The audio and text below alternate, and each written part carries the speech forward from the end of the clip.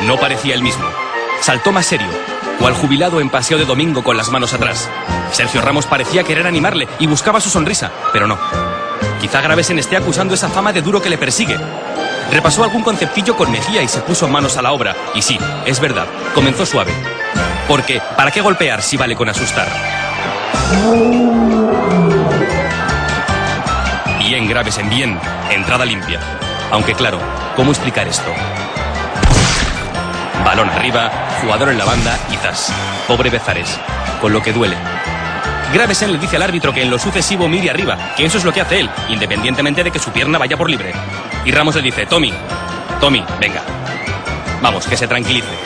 Pero ya era tarde. Berizo le estaba tocando y eso a Tommy le molesta mucho. ¡No toques! ¡No toques! Se estaba alterando. Zidane se dio cuenta y fue a calmarle. Y le tocó. ¡Sisu! ¡Sisu! ¡Yo no! No había hecho nada. Con la cantidad de cosas que hace Tommy por el equipo, que hay que mover la barrera, pues la mueve él solito, sin preguntar a nadie. Podría decir a sus compañeros el clásico echados para allá, pero ¿para qué? Si no hace falta. Y lo dispuesto que está. ¿Cómo? ¿Que cubras a ese? ¿A él? Sí. Y allá fue Gravesen, sin rechistar. Hola, me ha dicho Roberto Carlos que te cubra. Jugada del penalti no pitado. ¿Quién se puso como loco? Pues no, no fue Gravesen, fue Guti.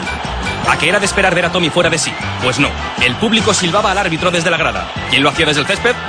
Sí, Gravesen, a tres metros del árbitro. ¿Cuál chiquillo? Anda ya. Hasta la semana que viene, Tommy.